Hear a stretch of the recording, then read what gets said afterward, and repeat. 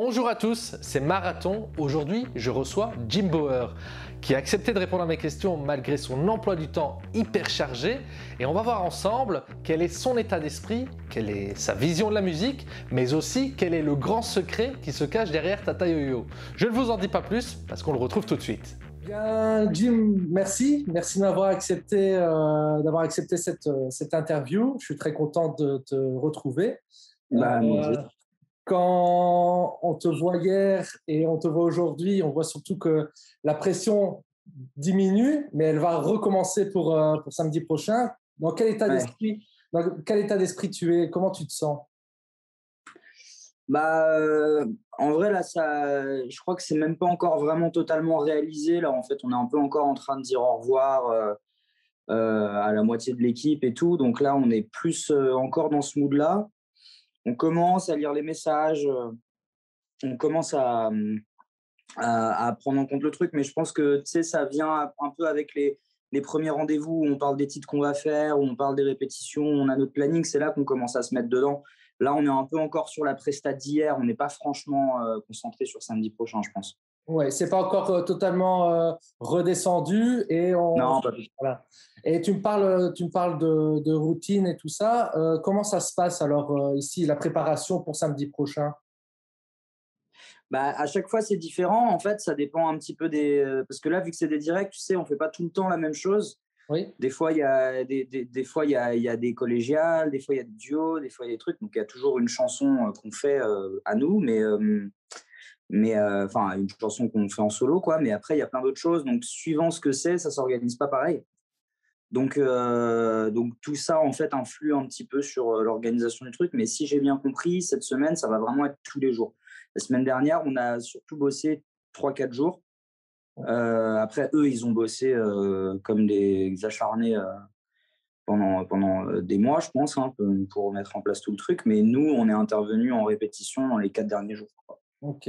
Et, euh, et, comment ça se passe pour toi? Tu es, euh, tu restes euh, confiné quelque part avec toute l'équipe The Voice, ou alors tu peux rentrer chez toi et voir tes proches? Comment ça se passe? Non, non, non. On est, on est à l'hôtel en fait depuis déjà deux semaines, et on n'a pas le droit de, de, de voir quelqu'un d'autre que nous. En fait, c'est pour ça qu'on était aussi proches sur scène et tout ça en fait dans l'émission, c'est parce que en fait, nous, on passe notre journée ensemble euh, toute, toute la journée. On est testé non-stop.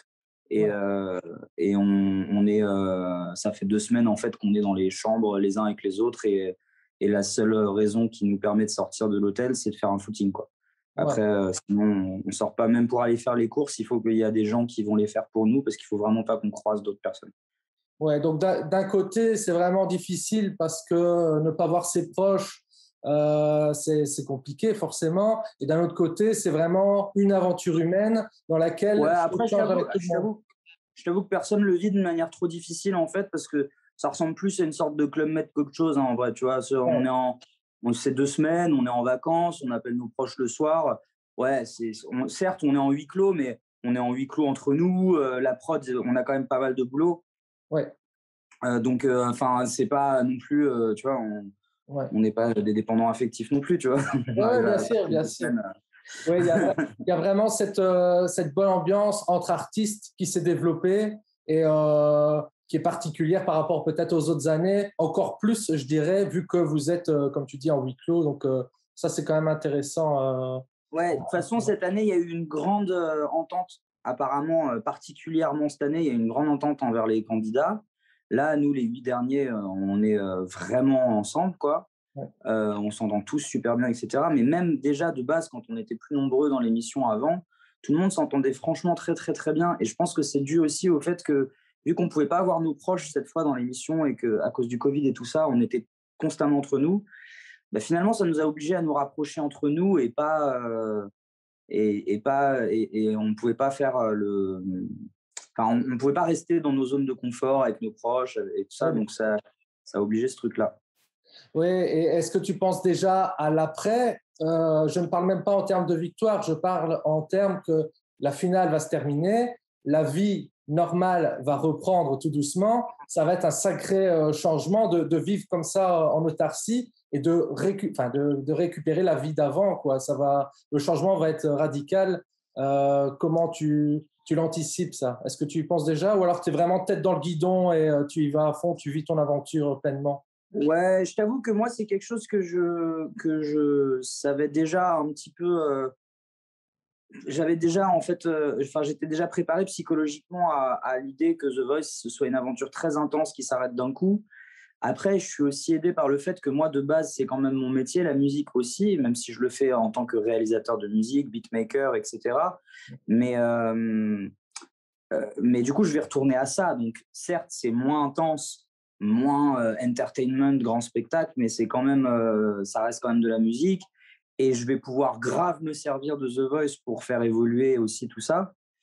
donc, ce sera quand même une transition finalement certes, ça va descendre en intensité, mais ce sera quand même plus dégradé et pas d'un coup, en fait, parce qu'au final, je vais quand même avoir pas mal de choses. Par rapport à quelqu'un qui vraiment se lance dans l'aventure et qui n'a pas déjà son quotidien dans la musique. Quoi.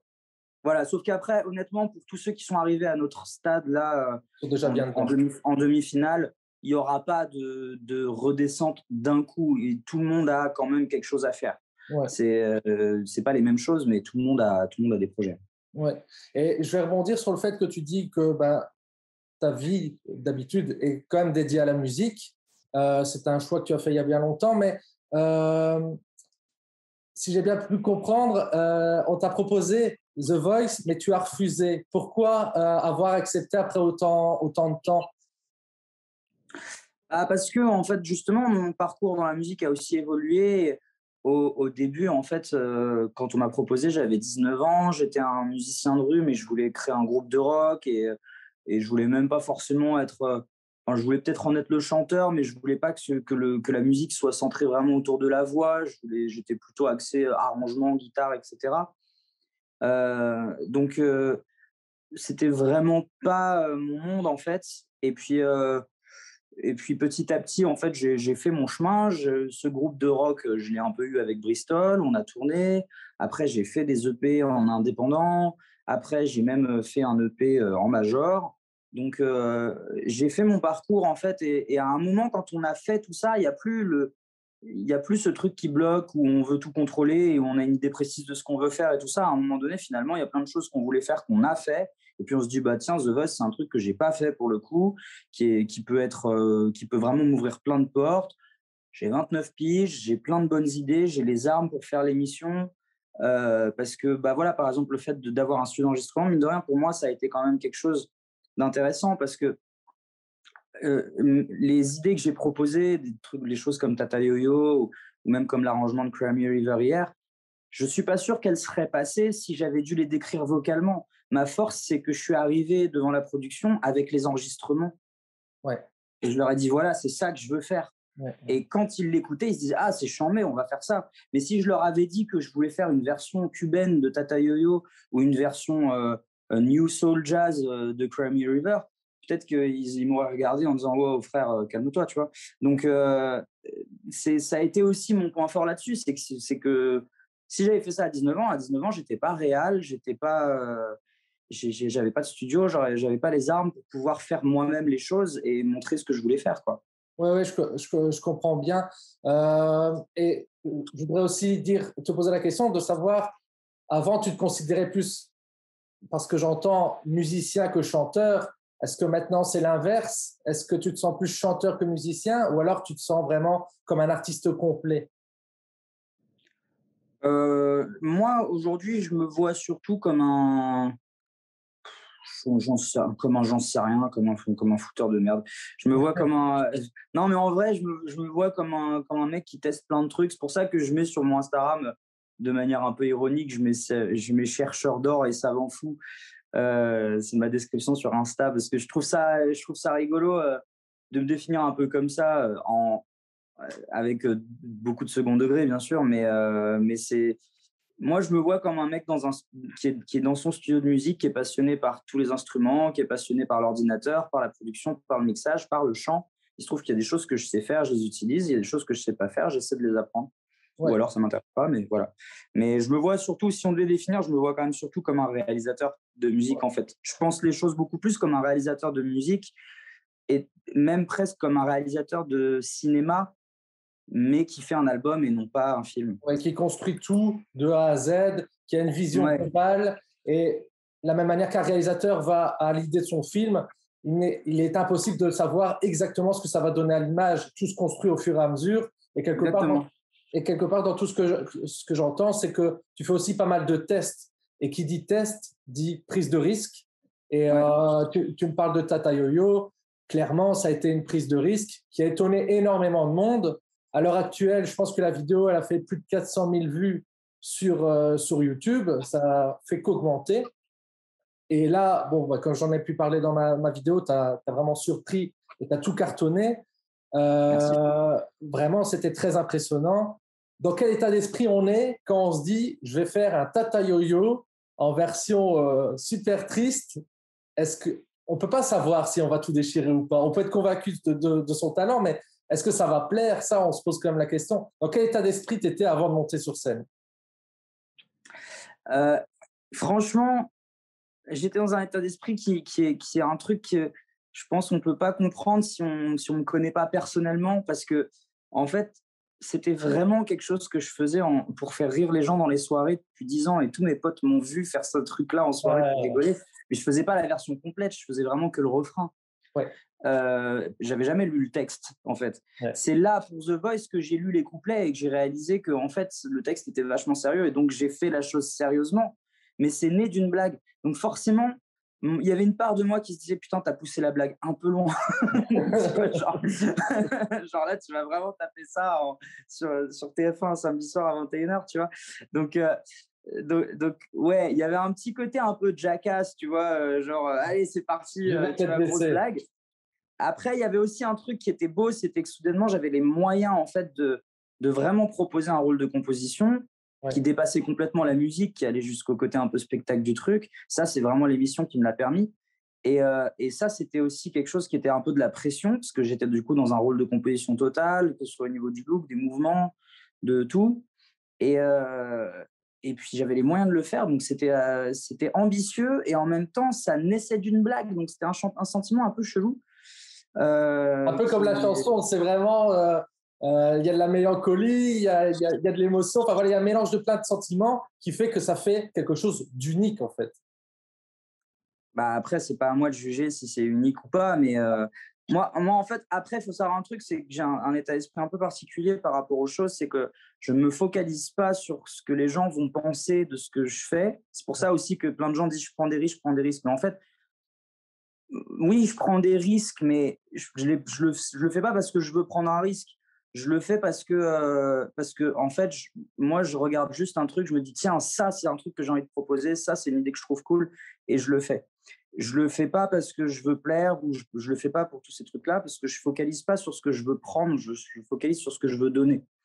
Euh, et après, bah, je donne, et puis ceux qui en veulent pas, ils en veulent pas, tu vois. C'est pas, c'est pas un truc qui me, moi, ça m'intéresse pas de Enfin, le résultat m'intéresse pas à la fin. Ce qui m'intéresse, c'est est-ce que je suis allé au bout de mon idée? Ce qui m'intéresse, c'est le challenge personnel là-dedans.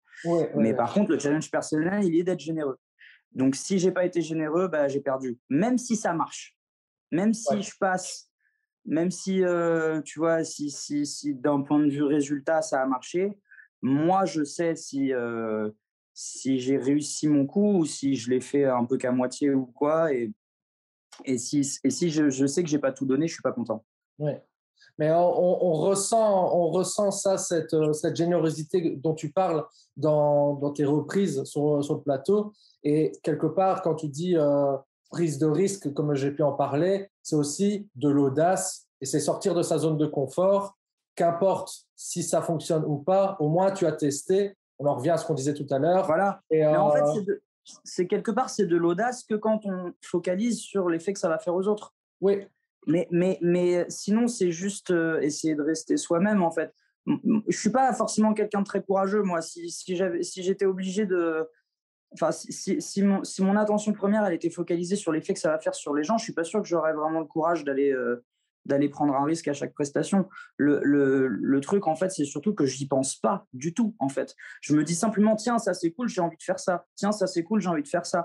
Et en fait, moi, je me vois comme une sorte de, je sais pas, de, de, magasins euh, à, proposition euh, musicale. Et puis après, les gens, ils prennent ce qu'ils aiment et, et ils prennent pas ce qu'ils aiment pas. Et, euh, et, moi, je continuerai. Je pense que c'est important en tant qu'artiste de rester toujours centré sur ça et de et de pas se mettre à vouloir proposer aux gens ce qu'ils veulent. Bien sûr. Il faut proposer aux gens ce qu'on veut leur donner. Il faut pas proposer, je pense, aux gens quelque chose qu'on qu'on veut faire nous égoïstement c'est un juste milieu en fait, tu vois. Il faut, mais il y a une différence entre donner aux gens ce qu'on veut leur donner et donner aux gens ce qu'ils veulent. C'est deux choses différentes, tu vois. Donc j'essaye de trouver, et en même temps, il y a aussi euh, ne pas proposer aux gens euh, ce qu'on veut juste faire soi et ce qu'on veut se proposer à soi-même. Ça, c'est égoïste. De manière. Donc il y, a, une sorte de petite, euh, voilà, de petite machinerie à trouver entre les deux. Et moi, c'est ce que j'essaye de cibler. J'y arrive pas. Hein j'ai aussi de l'ego et j'ai aussi des fois de l'enjeu, etc.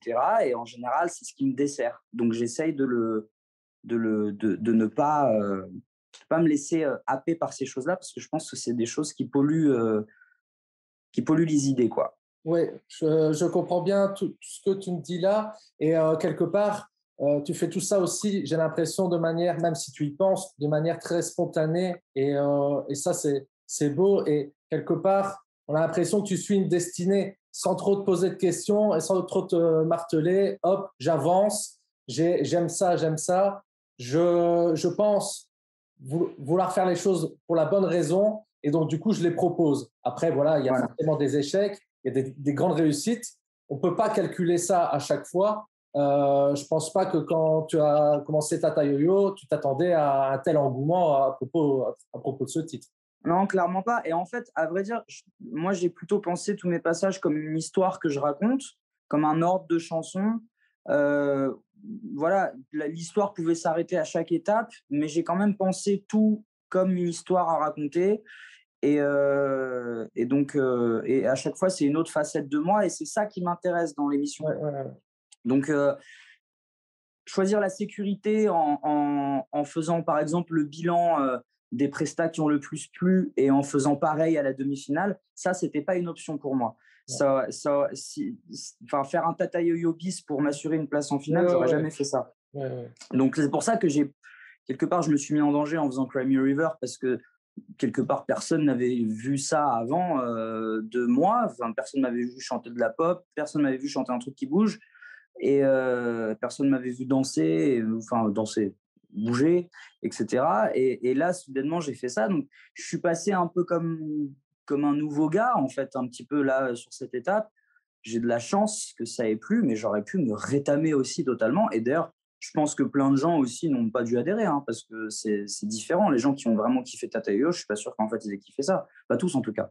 Ouais, mais ça, après, euh, on peut pas plaire à tout le monde comme on dit de toute façon. Donc, euh, non, mais l'important c'est de, de, donner ce qu'on a voulu donner. Après, les gens ils prennent ce qu'ils veulent. Hein. C'est ça, c'est exactement ça. Et quand j'entends, euh, j'entends ici tout ton parcours, quel a été vraiment un moment difficile, un moment de doute, un moment où vraiment tu n'étais pas à 100% sûr de toi et vraiment une difficulté euh, une difficulté principale euh, si tu devais en retenir qu'une durant tout ce parcours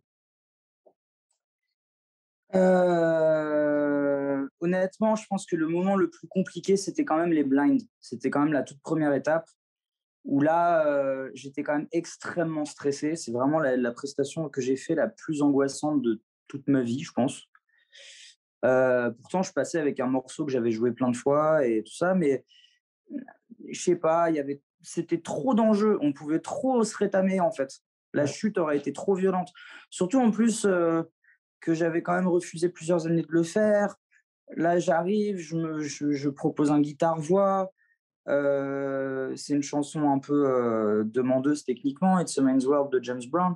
Donc, du coup, j'aurais pu aussi grave faire un Et c'est The Man ah Casser la gueule devant tout le monde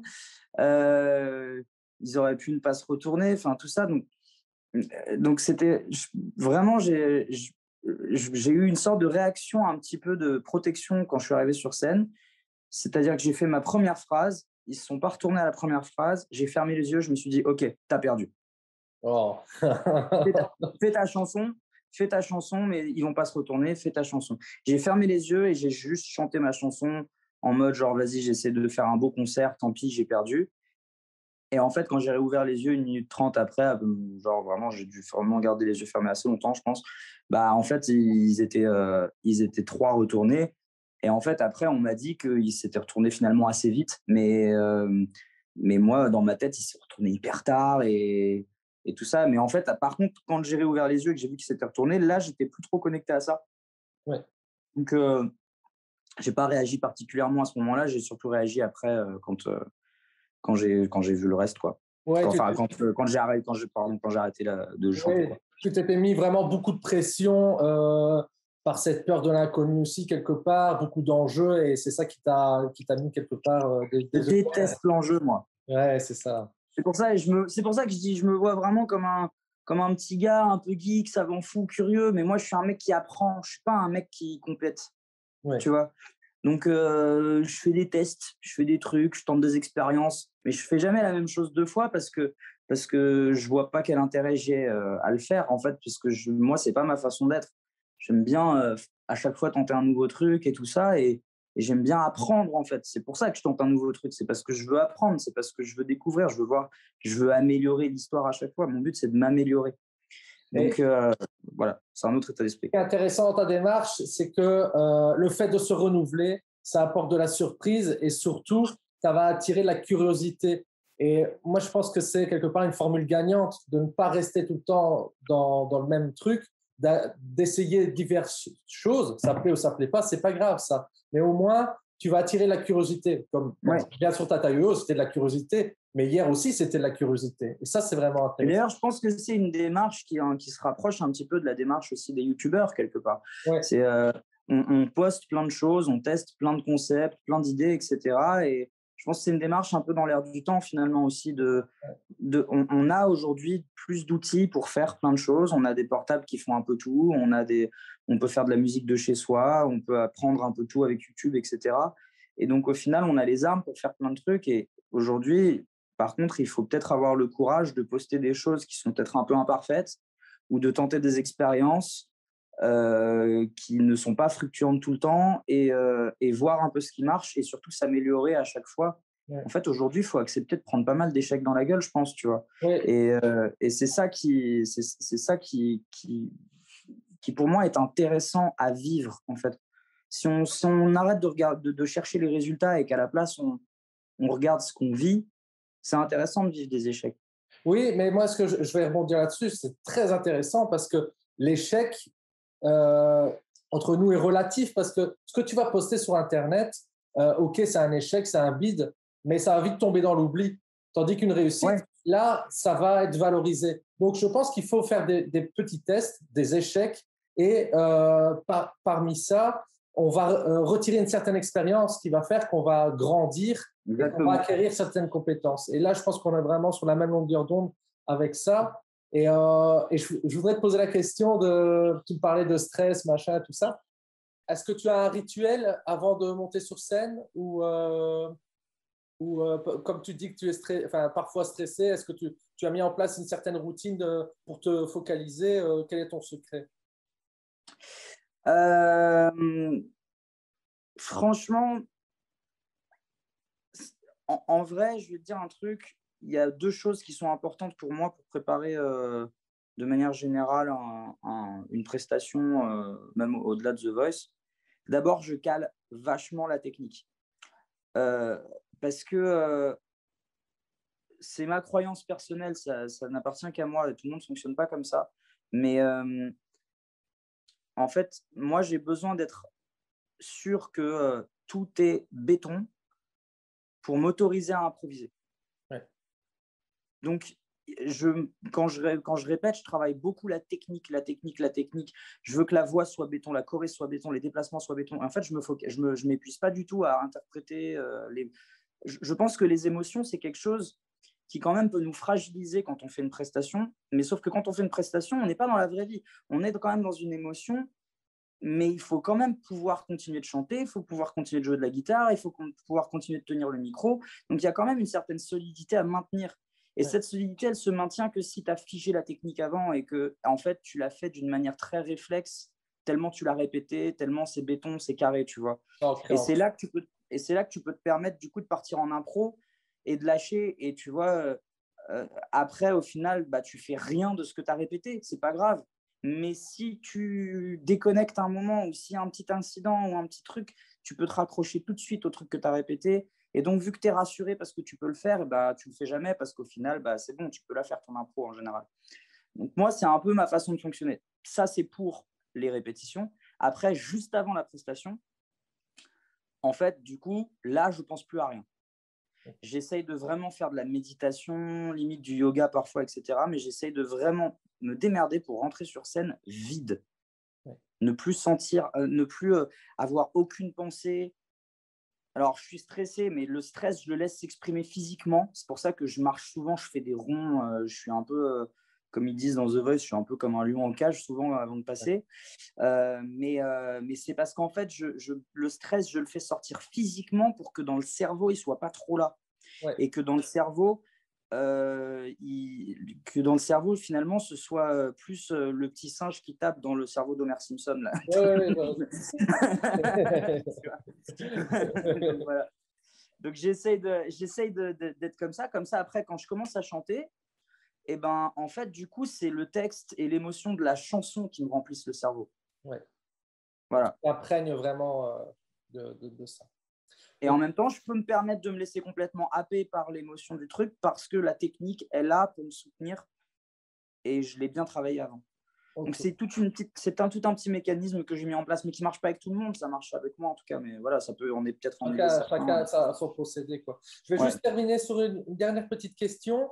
Euh, sur ma chaîne YouTube, ce que je fais, c'est que je j'aide les gens, je propose des outils, des conseils, des exercices pratiques, et j'incite les gens à euh, se surpasser et à créer des projets. Qu'importe euh, les projets, le but est de faire quelque chose qui leur plaise et qui permet d'être épanoui. Et pour les gens qui ne, savent pas quoi lancer comme projet, j'incite à la musique, étant musicien moi-même. Quel conseil aurais-tu aux gens qui veulent débuter la musique, qu'importe le niveau qu'on veut atteindre, euh, que ce soit la musique, un instrument ou le chant, quel conseil pourrais-tu donner euh, à quelqu'un qui est novice? Moi, je dirais que il faut qu'il fasse beaucoup, qu'il fasse beaucoup d'erreurs, qu'il se regarde pas trop faire au début, en fait, qu'il fasse des choses mauvaises, limite volontairement. Il faut surtout pas essayer d'être perfectionniste, il faut surtout pas mettre d'ego dans ce qu'on fait au début. Il euh, faut accepter d'être un peu mauvais au début et de faire beaucoup, d'apprendre, d'apprendre, d'apprendre, et, de pousser la chose jusqu'à de l'humour, jusqu'à euh, de l'extrême, de, de, pousser le truc jusqu'à de l'humour de l'extrême. Et puis euh, et, et, euh, et, de surtout pas en fait penser produit fini au début. Il faut accepter de se dire que les 50 premiers trucs que tu fais, tu les fais que pour toi et tu es en train de tester des trucs et de faire tes expériences. Et puis après, commencer à poster, à proposer aux autres. Mais c'est pareil, tu es encore dans une phase d'entraînement à ce moment-là. Fais gaffe. Tu n'es pas en train de poster des produits finis qui doivent être parfaits. Tu es juste en train de regarder un petit peu de commencer à oser proposer ces choses aux autres franchement, il faut accepter d'être un peu nul, quoi. Tu vois, c'était le meilleur, c'est le chemin le plus rapide pour, euh, pour commencer à faire peut-être des trucs bien de temps en temps, je pense. J'espère que j'ai pu répondre à quelques questions et puis, euh, puis voilà, bah, une prochaine fois. Et encore félicitations pour ton parcours, pour ton talent et bonne chance pour la semaine prochaine, euh, pour samedi prochain. On est avec toi et il y a beaucoup de gens qui te soutiennent. Voilà. Yes. Allez, Allez gros bisous. À bientôt. Au revoir. Yes, ciao.